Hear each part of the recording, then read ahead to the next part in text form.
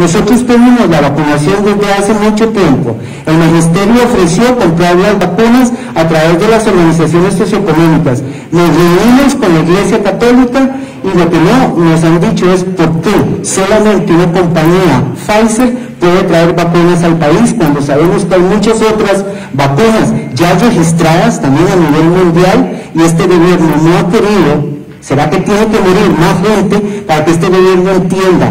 la vacuna en muchas partes del mundo ya se vende y su costo económico es muy barato. Nos decían los empresarios que tiene un costo de 18 dólares y que por cada 100 mil ellos podrían regalar hasta 100 mil vacunas traídas del extranjero, pero el gobierno no lo permite.